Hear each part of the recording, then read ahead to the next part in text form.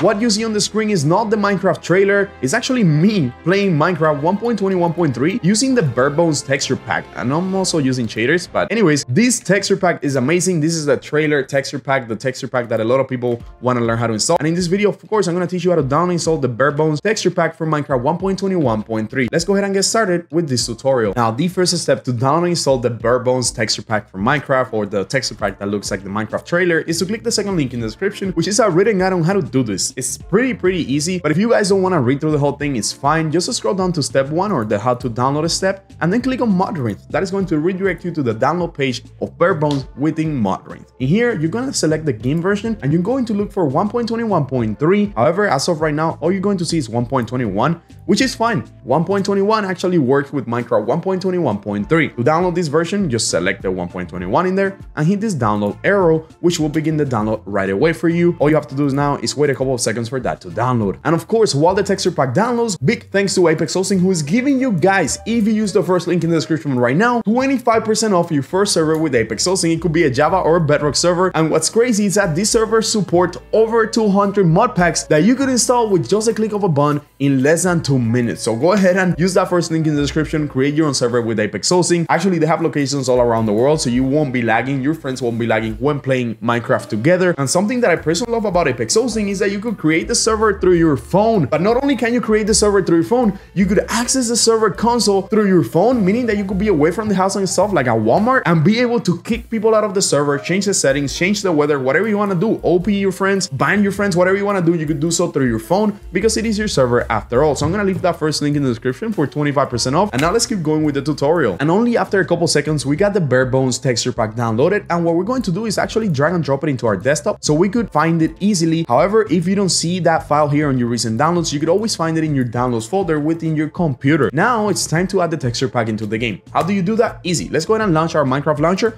And then we're going to go ahead and launch our Minecraft game. Make sure you launch the 1.21.3, however, because we want to add it to the newest version of Minecraft, right? Now that we're in the game, it's time to add the texture pack. To do so, just go ahead and launch your world, or you could also add it to multiplayer servers. Again, if you need a server, guys, use that first link in the description. I cannot say that enough. Apex Hosting giving you guys 25% off is actually crazy. I wish I had 25% off when I created my server. Actually, I did. I'm not gonna lie to you guys. Anyways, we're here in the world, and as you can see, I'm using shaders. If you wanna use shaders and have your game looking as beautiful as mine, you could do so by installing Optifine or watching one of our videos on how to install Optifine. Anyways, time to add the texture pack. To do so, press escape.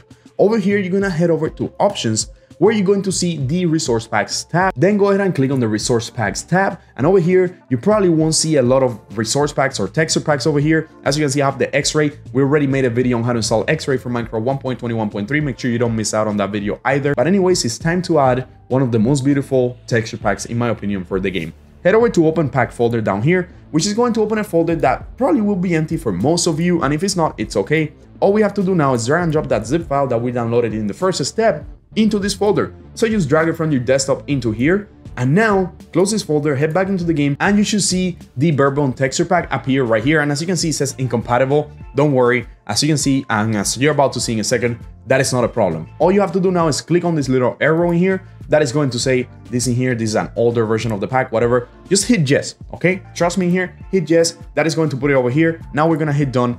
We're gonna wait a couple of seconds for that Barebones uh, texture pack to load into the game. And as you can see, we now have the Barebones texture pack into this game. And oh my God, this game looks beautiful, especially with these shaders on.